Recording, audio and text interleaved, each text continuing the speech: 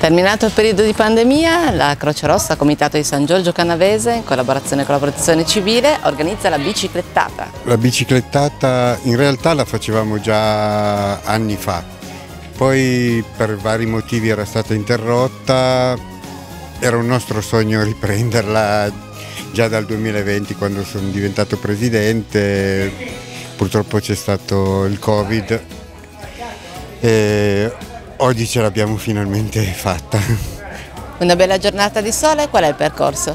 Il percorso praticamente tocca varie strade di San Giorgio, arriverà fino a Cortereggio dove c'è il gruppo anziani che ci ha preparato diciamo, una prima merenda, poi da Cortereggio si riparte, si passa da Lusiglie, si rientra a San Giorgio e poi ci sarà una seconda merenda in sede offerta dalla pizzeria La Mandragola. Vedo anche trucca bimbi e altre attività. C'è il trucca bimbi, poi abbiamo dei giochi in legno che gentilmente ci ha offerto la Proloco di Oglianico.